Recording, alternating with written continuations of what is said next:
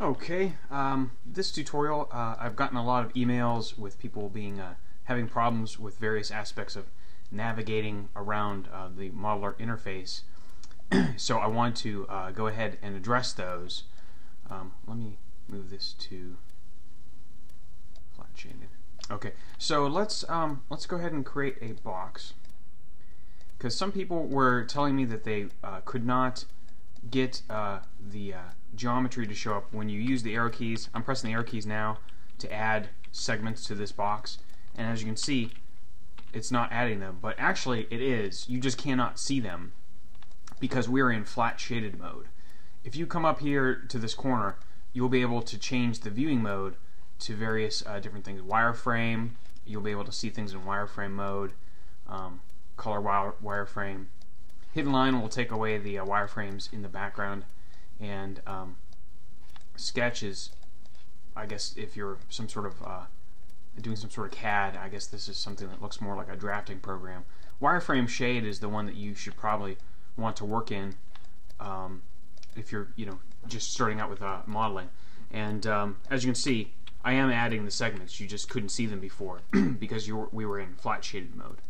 Then there's weight shaded mode which um, let me, let me do this. And what will happen is when you're in weight shaded mode and you create a new weight map. Okay. You'll see the um, the items that are 100% weighted are in red or, or, dark orange and then everything else is in gray that's that's not affected by the weight map. And if you're in texture mode let me go ahead and add a image map here anything is fine. Okay, so if you're in textured mode, you'll be able to see any of the uh, image images textured onto there. If you're in wireframe shade, you won't be able to see that. If you're in textured wire, you'll be able to see the images and the wireframe underneath there. but as you can see, sometimes it's difficult to make that out.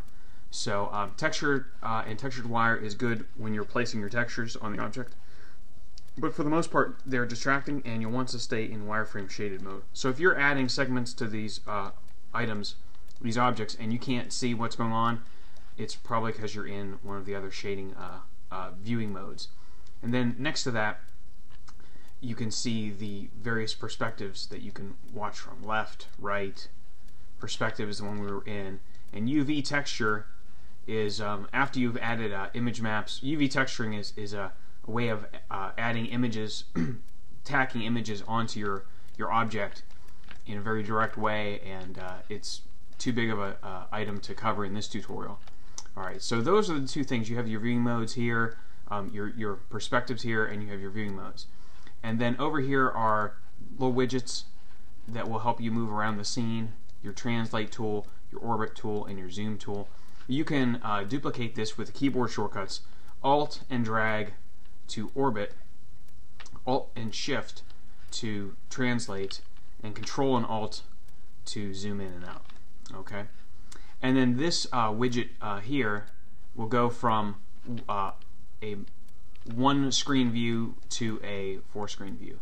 So as you can see, I usually work in in four uh, in one big screen, but some people like to work in four because sometimes you can, as you can see, you can go ahead and line things up very easily in the uh, four-way view but I like to uh, use all my screen real estate, so that's my preference there. So those are the viewing modes and these widgets here. And um, up here is uh, if we were to have more than one object loaded.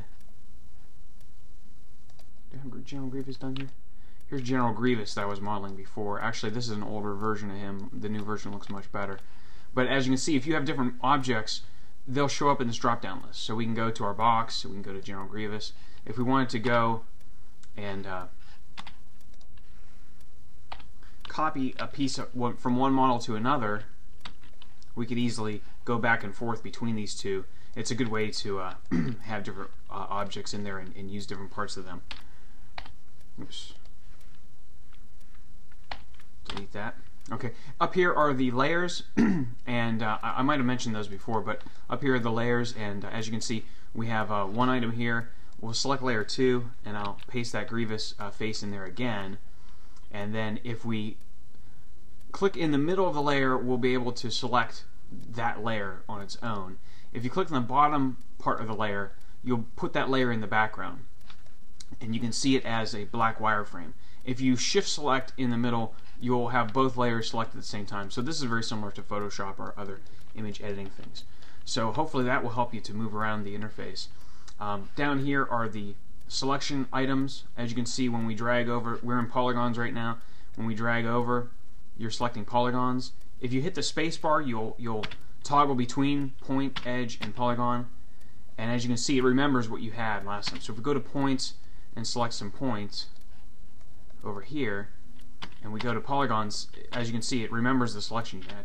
And edges, you can select edges as well. So it will remember those. When you want to deselect some points or some edges, you can go over to a, a uh, empty part of the interface, like over here, and just click, and that, that, that selection is gone. All right, symmetry I mentioned in uh, a another topic. Uh, symmetry is for making changes to both sides of the model at the same time. And then your modes. this is um, when you're using the various tools. This will determine where that tool um, generates its uh, uh, the origin of that tool. So let's go here and we'll go to our front view and I'm going to hit shift tilde to do the bend tool and uh, when I drag the bend tool the it's set to the mouse so wherever the mouse is is clicked on that's where it starts bending from alright I'll undo that. I'll set the mode to origin. And so now when I when I if I click the mouse up here for example it doesn't matter. It's always bending from the origin. And uh, from the for the most part I, I just leave it on mouse because then you know exactly where you want the, uh, the transformations to take place. Okay?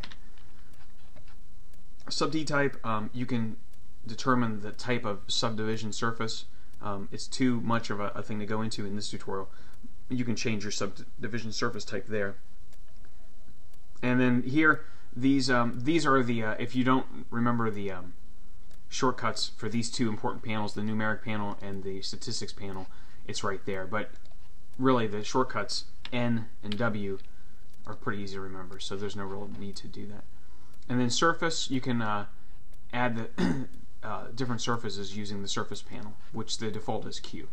And over here, W, T, M, C, S these are the various maps that you can add to your object. As you can see, there's an entire map tab, and they stand for weight map, texture map, uh, morph map, color map, and um, I think this is selection set.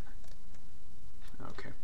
But uh, usually um, weight maps, uh, morph maps, those are, are the big ones you're going to end up using a lot of. Alright, so that is the base.